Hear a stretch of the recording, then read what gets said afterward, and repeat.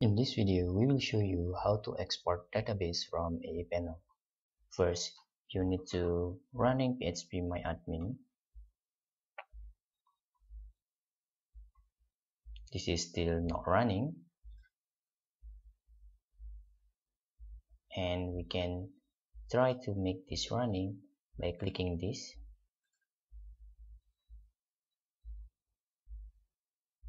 After phpMyAdmin is running, we can click our database in here and then choose one of your database.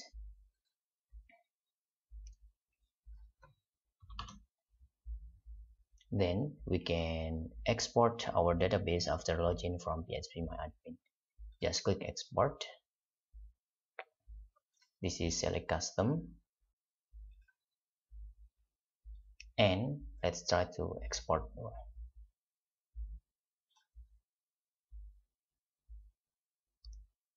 that's what until done and that's all. How to export database from aaPanel thanks for watching